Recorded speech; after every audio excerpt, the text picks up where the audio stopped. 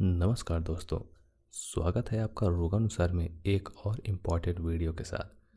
आज की इस वीडियो में हम जानेंगे छुई मुई के क्या होते हैं फ़ायदे। 99 परसेंट लोग नहीं जानते हैं कि छुई मुई के भी ऐसे फ़ायदे हो सकते हैं जिसे जानकर लोगों के कान खड़े हो जाएँ और उनकी आँखें खुली की खुली रह जाएँ। जी हाँ छुई मुई के ऐसे फ़ायदे होते हैं कि जिसे जानना आपके लिए बेहद ज़रूरी है ताकि आप इसका लाभ उठा सकें।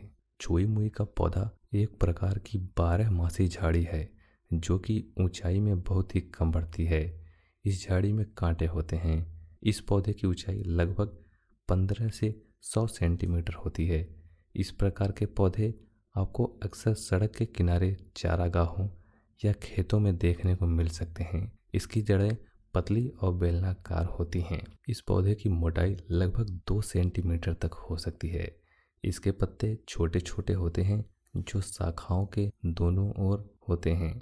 यह पौधा औषधीय गुणों से भरपूर होता है। इस पौधे को लाजवंती नाम से भी जाना जाता है, क्योंकि इस पौधे को छूने से ही वह शर्मा जाती है।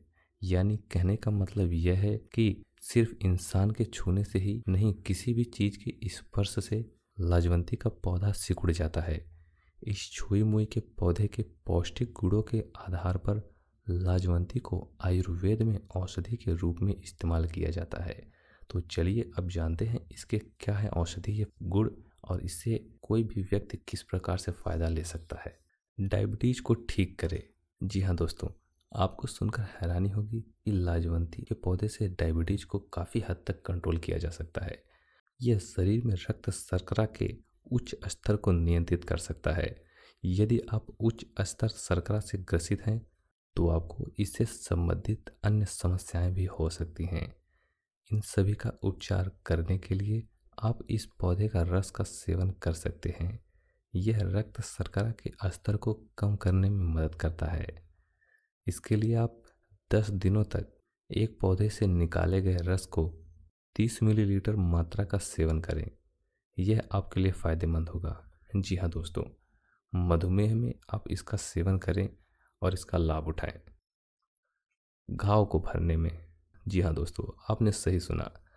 परंपरागत रूप से इस पौधे की पत्तियों का उपयोग घाव उपचार के लिए किया जाता है।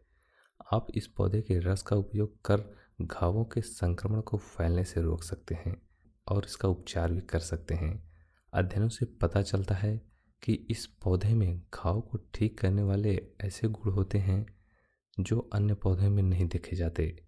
इस पौधे की पत्तियों को पीसकर रस निकालें और घाव पर लगाएँ। इसके उपचार गुड़ घाव को जल्दी ठीक करने में मदद करते हैं।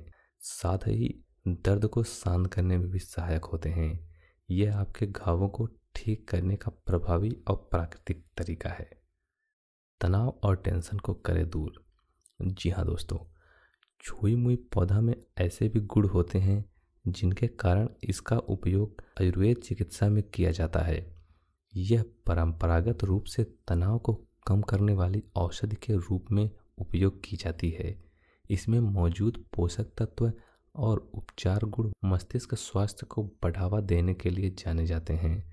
यह मानसिक स्वास्थ्य को बढ़ावा देने और तनाव, अवसाद जैसी मानसिक समस्याओं से निपटने में भी मदद कर सकती हैं। गठिया की आयुर्वेदिक दवा है छुई मुई। जी हाँ दोस्तों जो लोग गठिया रोग से पीड़ित हैं, उनके लिए छुई मुई एक प्रभावी दवा का काम करती है। इस पौधे में एंटी इन्फ्लामेंट्री गुण होते हैं, जो जोड़ों में सूजन का इलाज कर सकते हैं। इस तरह के इस पौधे का उपयोग गठिया के दर्द से छुटकारा पाया जा सकता है। गठिया का उपचार करने के लिए आप इस पौधे की पत्तियों का पेस्ट बनाएँ और प्रभावित हिस्से में लगाएँ। इस पेस्ट को रात भर लगा रहने दें। प्रतिदिन नियमित रूप से इस पेस्ट का इस्तेमाल करने से आपको बहुत ही जल्द आराम मिलेगा। लाजवंती से करें बवासीर का इलाज।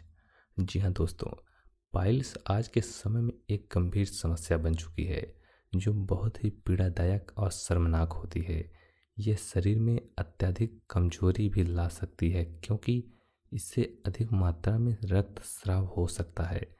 लेकिन इस समस्या का उपचार लाजवंती के पौधे से किया जा सकता है। बवासीर रोगी को इसकी पत्तियाँ पीसकर प्रतिदिन दूध के साथ सेवन करना चाहिए। आप विकल्प के रूप में आप इस पौधे की जड़ का भी सेवन कर सकते हैं। इसके लिए आप इनकी जड़ों को सुखाकर पाउडर बना लें। आप एक चम्मच पाउडर को चार चम्मच दही के साथ मिलाकर सुबह के समय सेवन करें। जब तक कि आपको इससे राहत न मिले। यह बवासीर का इलाज करने का एक प्राकृतिक उपाय है। अगर आपको इस वीडियो से ज़रा से भी जानकारी मिली हो तो वीडियो को लाइक कर शेयर ज़रूर करें। और अगर आपका कोई सुझाव या सवाल हो तो कमेंट में तुरंत पूछें और चैनल को सब्सक्राइब कर बेल आइकन